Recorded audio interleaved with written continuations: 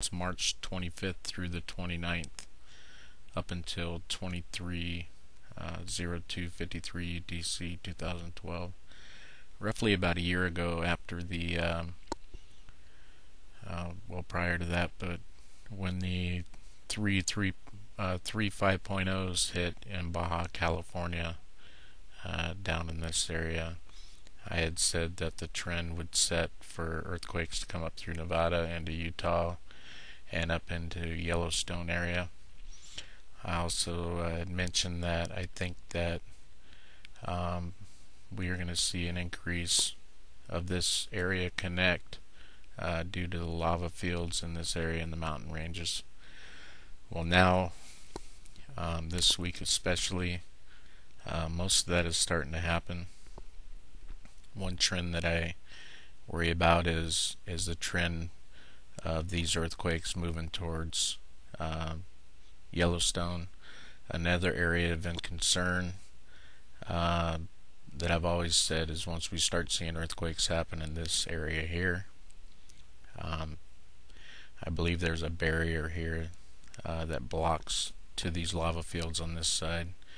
And if we start seeing a buildup of pressure here, we should watch out for uh, this area in Oregon pretty heavily, but I'm going to start this animation map. Um, watch this area up here in Washington. We've had numerous small earthquakes today. Um, it is 416 uh, West Coast time right now.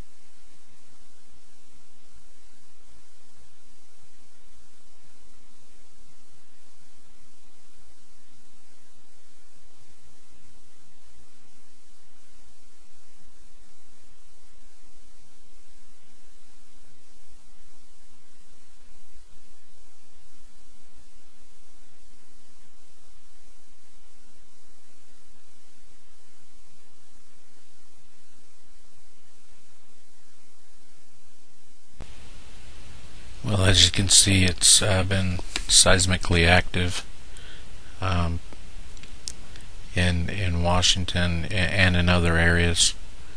Uh, it's a quick heads up. Um, take care.